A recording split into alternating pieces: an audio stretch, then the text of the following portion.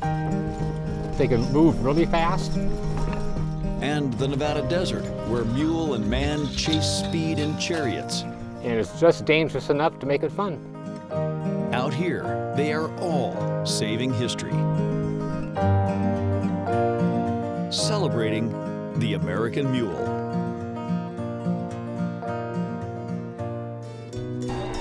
Here, you'll see the outrageous sport of chariot racing.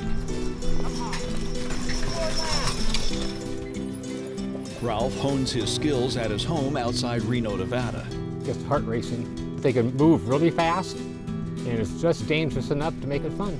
Jude and Jip love the speed as much as Ralph. They like it, yeah. They like going fast. They, they just took right to it. And it thrills the crowds. Chariot racing is kind of like NASCAR. People just go to watch it for the wrecks. Yes, he's had his share of spills.